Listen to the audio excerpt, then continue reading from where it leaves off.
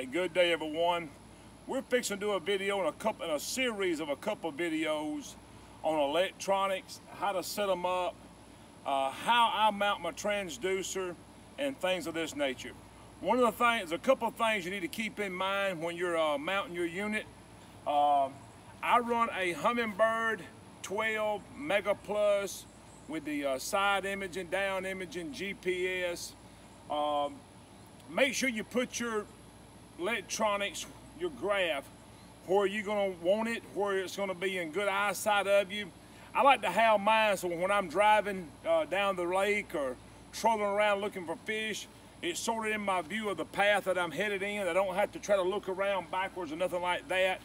Uh, I'm trying to uh, ride ledges and look for fish, and I want everything sort of to be uh, focused right where I want it. I want you to walk right here just a second.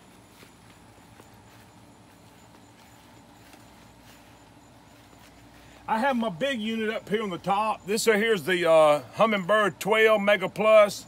This right here is a Humminbird uh, 9 Mega.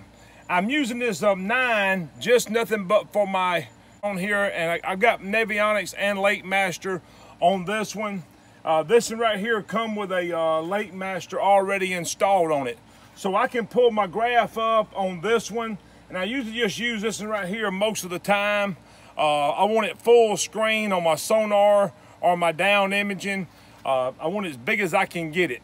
Let's walk back to the back of the boat. One of the most important things is if you're starting to uh, mount new electronics on your boat, it's gonna be some problems trying to get the cables run through, but I promise you, take your time, be patient about it. I come in, took all the side uh, panels off of this boat. I run my cable back down through here. And this is what I found out on mounting the transducer. On the last boat I had, I had the transducer mounted over here uh, on the starport side. And um, I had it mounted sort of far over. And when I pulled up the side imaging, I couldn't seem to get to my right side. Uh, I could get real slow and pull my motor up and I could see some on my uh, right side. I don't know if the motor was in the way or what it was. I just dealt with it. Um, but when I got ready to put this one on, I put this one right here on my driver's side and I tried to come down and locate it close to the center of the boat. I couldn't get it all the way to the center, but you can see about where I have it at. I don't know if you've seen some of the images that I put up.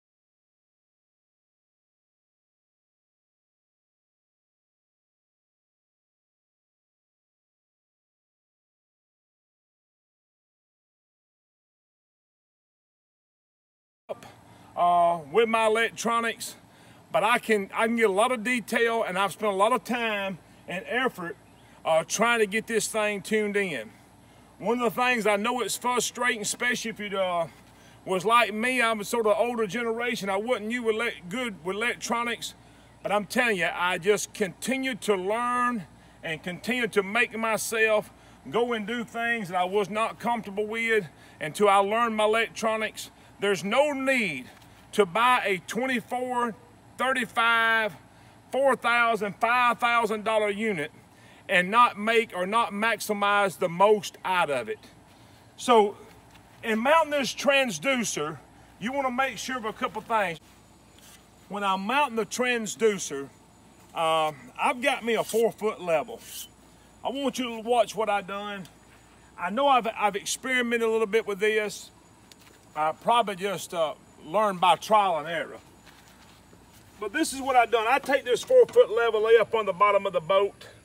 I did not want my transducer exactly level or flush with the bottom and I did not want it sitting below the bottom of the boat. It's probably about two inches off from being flush at the bottom of the boat. You can probably see this. You just lay your level up on there and you can get a good idea of that right there. Now, when this boat is sitting in the water, the water line comes up in here, so the transducer is up on the water good. But the reason I did not mount it below flush is so when I get on plane, this is not catching water and shooting a rooster tail up in the air.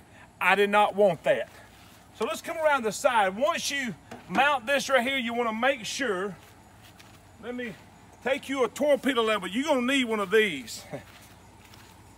and you want to make sure that you can be able to put it on there and get your boat set and level.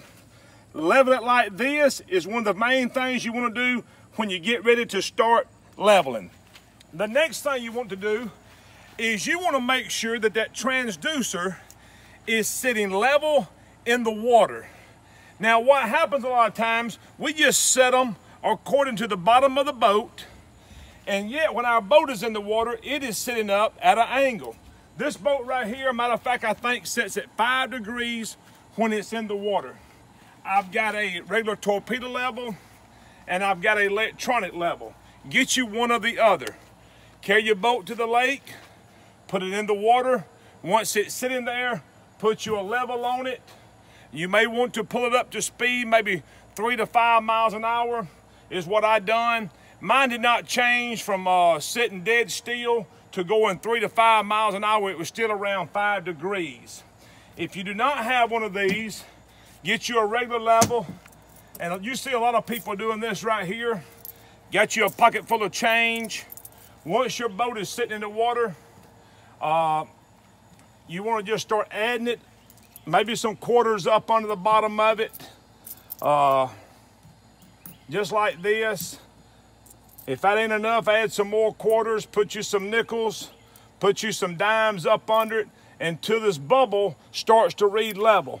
When you do that, make sure that you keep up with how much change you put up under it. When you come back home with your boat, what I done with mine is I parked it back up on the shop. I unhooked it from the uh, truck. I dropped my jack stand down. I pulled my level right here on the side of it. I jacked it up to it was five degrees is what I done. Once I done that, I come back here on the back. My boat was sitting just like it ought to be in the water, five degrees, and I made sure this transducer was sitting level. If you do not do that, you're not going to get an accurate reading. Take for instance, if this, if this transducer is kicked up like this right here off the back of the boat, this is shooting a beam out like this. If it's tucked up under, it's going to be shooting a beam up under the boat. You're not going to get an accurate reading on your depth. And uh, I want it when I go over something, my beam is shooting straight down make sure that you pay close attention to them things like this. Another thing that I want to say about this, because I've had, I know three or four guys that I have tried to help set the electronics up. Just, to, just a, a reminder, I use my electronics a whole lot. Of fact, I've, I've come real reliable on them. Uh, I run a iPilot link. Guys, there is a difference. Please listen to this. If you're going out and if you're looking at dragging baits, if you're looking at drifting, and you want to connect your trolling motor to your electronics, there is a difference between iPilot and iPilot Link. I'm telling you, I've, I've done dealt with a couple of my friends who has went to a boat place. They've come back and asked me, said, Stacy, what I need? I said, make sure you get iPilot Link. Well, the guy down here at the uh, at Bass Pro or, or, or, or, Gander Mountain or wherever it may be at said this right here has got the remote control. It's got the iPilot on it. I said you got to make sure it's iPilot Link.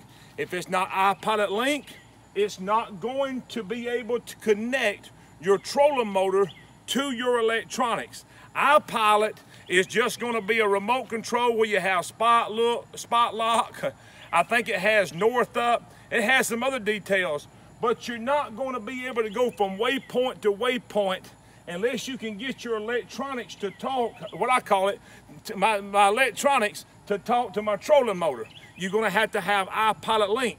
Mine requires a cable to run from my trolling motor back to my unit. I'm hoping this is going to be helpful to you. Just remember, take your time. Uh, don't be afraid and, uh, to uh, play with your unit a little bit work with the stuff. We're gonna do some more uh, videos on this, on how I set it up, how I go through the setup. I know I have a lot of people ask me, what is my settings on? What's the, what's the sensitivity? What's the contrast? And I will, I will tell you this, Probably right now it's set on maybe 12, maybe 11 on one. But I tell people all the time, I says, I set mine every time I go out on a new body of water. Uh, I'm, I'm constantly sitting there just trying to get the very clearest picture that I possibly can. You may get into a place where you have real clear water. You may get into a place where you have muddy water. Just get, it's very easy to do. We're gonna deal with this on the next video, but you have to make sure first and foremost, you got your transducer set up, that it's level when it's sitting in the water, that you got it level this way, and you have it level this way according to how your boat is sitting in the water. When you run your uh, when you run your transducer cable also up through your boat, please make sure you do not get any, I try to make sure, do not get no kinks uh, in that cable. I don't know what it's got inside of it, but I figured it was something like a coax cable, which has a thin wire. You don't want this thing to break. Make sure you get all the kinks out of it, that it flows real good up to the uh, up through the bow or wherever you run it up on your boat, back to your electronics. I don't think you have no problem with that. God bless you and look forward to part two where we're going to deal with the setup, dealing with sensitivity, how to set the unit up itself where it's easy to maneuver through. God bless you and have a great day.